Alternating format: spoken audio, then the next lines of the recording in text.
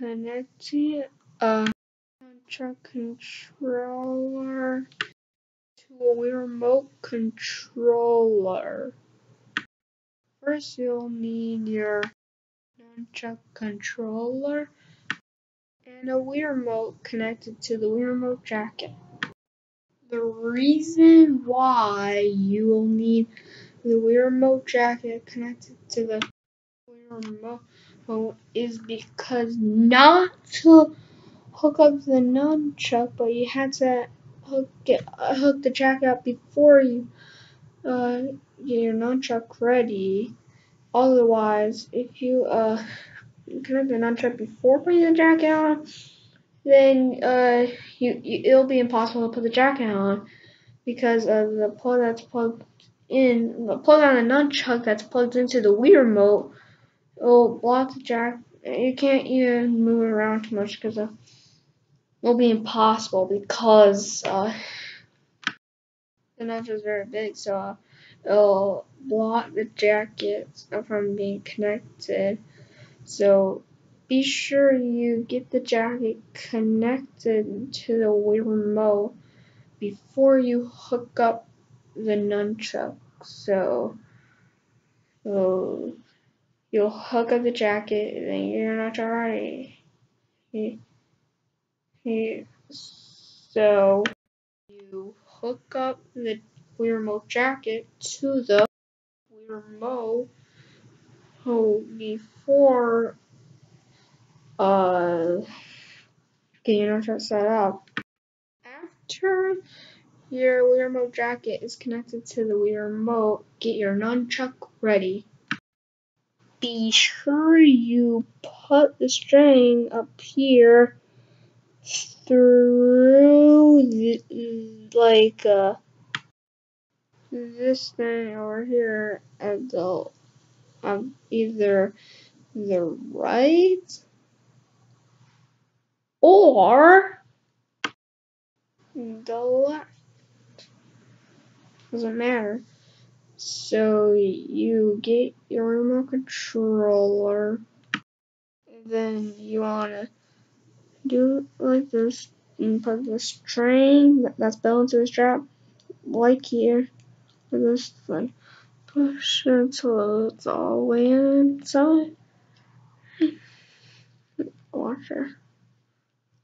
See it close now, so it's like there. See? It's like that. Okay, now we have the string, the remote string that's built into the remote strap. We have like this string here, like this right here, you have the, you have the string underneath this thing over here. Now you're going to connect the nunchuk to the Wii remote. You gotta connect the right way, because if you connect the wrong way, it might be glitchy while you're playing, because uh, the controller just glitches with the buttons and stuff like that, and it's not too good, so you gotta plug in the right way. Watch.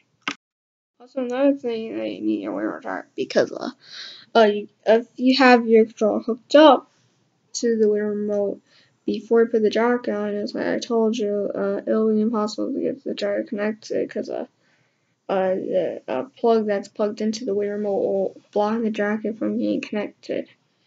So that's why you have to have your jacket on before uh, you uh, connect the nunchuk. So another thing with it is you gotta open this with your left hand and then connect the nunchuk with your right hand, just like just like this. Make sure it's in the middle and the bottom, like like this, and push in the right way. Wait, so it's the same thing as that little thing with the plug and connect it in there so it's good and it, and it sure is sure inputs are playing Alright, so now you're now you have everything good.